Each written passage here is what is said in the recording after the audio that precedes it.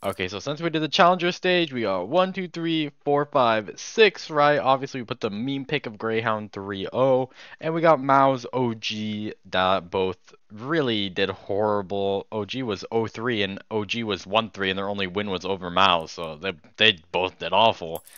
But now we can do the next stage. We are going to go ahead and do Navi passing. I think FaZe is going to pass. ENCE is going to pass. G2 is going to pass. I think those are going to pass. I think Liquid's probably going to 0-3 or into the breach. Liquid looks so bad.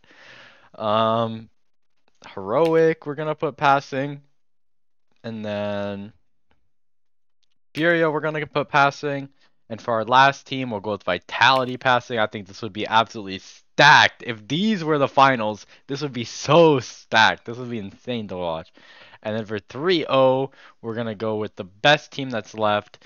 Uh, maybe, I don't know. We're going to go with Bad News Eagles for 3-0. And for 0-3, honestly, we're going to do Liquid. Liquid looks so bad right now. I don't know who else to put. Liquid just looks horrible. I think they're going to 0-3. But that's going to be my pick'ems for the Blast Paris Major.